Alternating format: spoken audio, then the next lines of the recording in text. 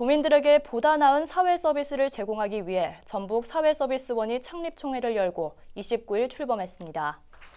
이날 총회에선 초대 원장으로 전주시 금암노인복지관의 서양열 관장을 선임했습니다. 서비스원은 다음 달 보건복지부로부터 법인 설립 허가를 받아 올해 안에 개원할 계획입니다. 한편 사회서비스원은 이번 정부의 공약 사업으로 사회 서비스에 대한 공공성과 투명성을 높이기 위한 기관입니다.